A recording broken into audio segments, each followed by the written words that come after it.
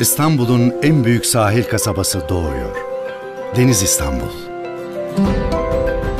Marinası, deniz kenarı kafe ve restoranları, kumsalıyla İstanbul'da denizle iç içe bir yaşam başlıyor.